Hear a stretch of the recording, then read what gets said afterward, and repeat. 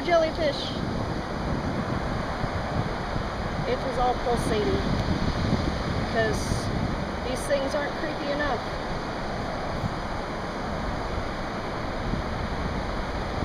Should I poke it? Should I, should I poke it? Yeah. No? Ah, that's not disturbing at all. It's too massive.